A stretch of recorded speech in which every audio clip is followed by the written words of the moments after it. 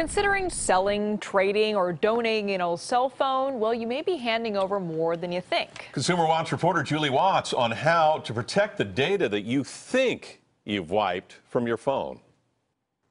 From banking to shopping to private photos, our smartphones know a lot about us. It is a treasure trove for identity theft. And Professor Anthony Serapiglia and his students found plenty of that sensitive information left behind on abandoned cell phones. We found a lot of text messages, conversations, personal items, uh, even Snapchat and things that you think are going to be gone, they're not gone. We'll find it.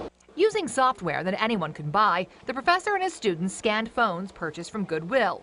25 pounds of phones purchased in bulk online for just $83. Of the 80 phones, more than half had useful information. From earlier Samsung phones to iPhones. This damaged iPhone turned out to be filled with illegal activity. That had text messages of drug deals, prostitution, and gambling. This phone didn't come with a battery, but it did have its memory card, a key to unlocking your sensitive data thieves that are trying to build a story around you so that they can impersonate you, so they can open accounts in your name, so they can just make a good story. His advice? Always perform a factory reset before you trade in your phone. But don't stop there. Remove your SIM card and keep it safe, and always encrypt your data. On the Consumer Watch, Julie Watts, KPIX 5.